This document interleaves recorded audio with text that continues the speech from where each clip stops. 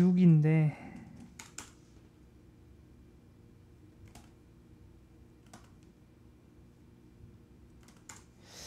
음 이제 뭐가 남았을까요? 하나씩 살펴볼까요? 음, 요거 불러왔고 그 다음 persist 작업했고 그 다음에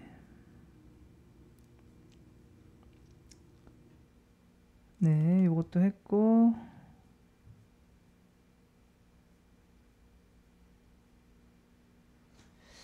음 레코드 작업도 했고.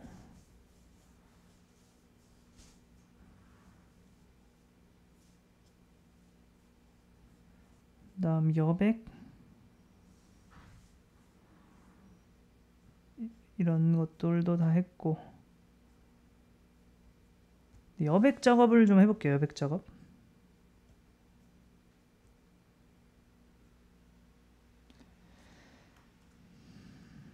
짜잘한 작업이라고 해야 될까요?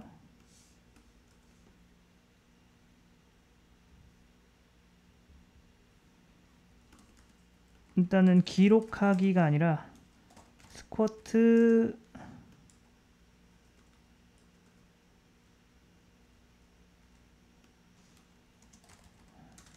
스쿼트 횟수.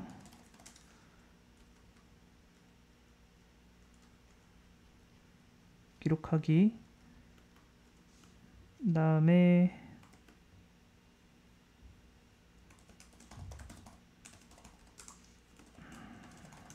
아이템.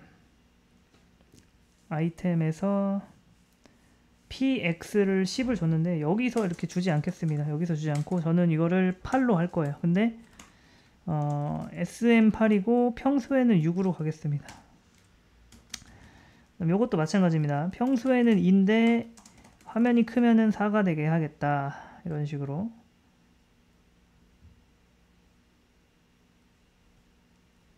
그 다음에 요 리코드 아이디를 사용하는 쪽에서 이렇게 보면은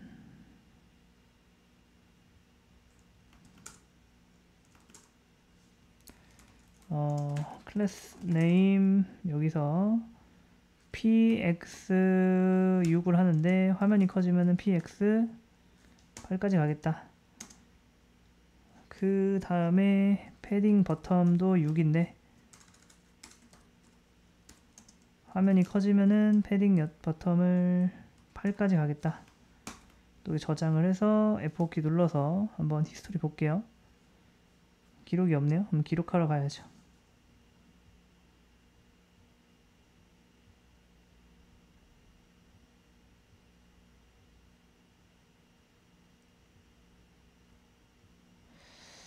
기록을 많이 만들었습니다. 그러면은 이렇게 잘 나오고요. 내용을 줄이면은 네. 요 사이도 줄고 요 사이도 줄고 네.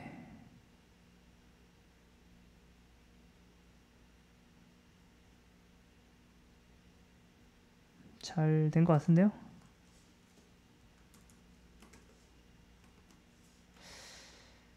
음.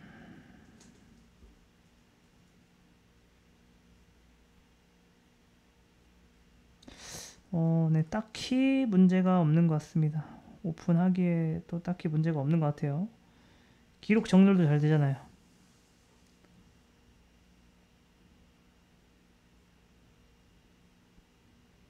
기록순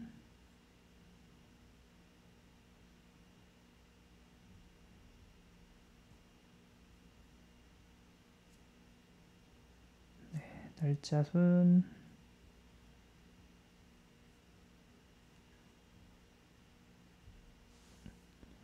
네, 그 다음에 요런 거 스쿼트 챌린지가 이 화면이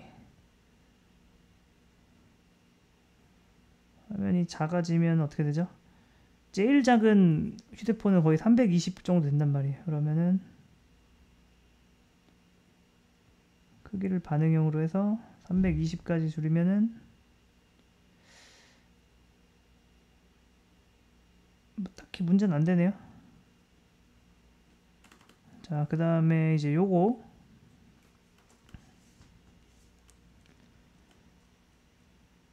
뒤로 가기 이전 뒤로 가기가 나은 것 같아요. 그 다음에 요거 키 키우는 방법 이거 아시죠?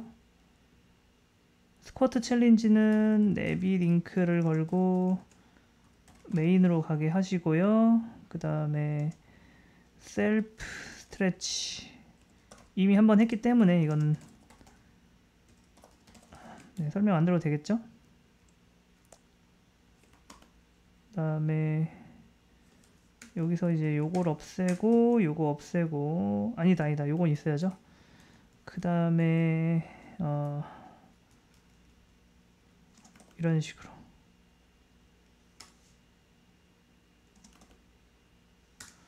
셀프 스트레치는 필요 없죠. 원래 스트레치니까. 그러면은 잘 되나 볼게요. 비질에도 500 걸어서.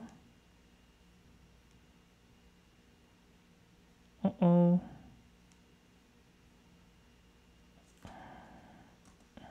스트레치를 그러면 얘가 걸어야죠 얘가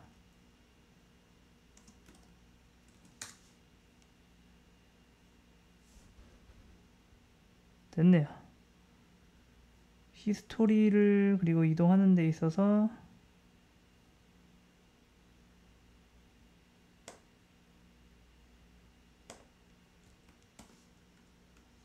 F4키 눌러보면은 음, 잘 되는구만. 이제 요거 스쿼트 챌린지 눌러도 가운데 그 메인으로 갑니다. red 500 빼주고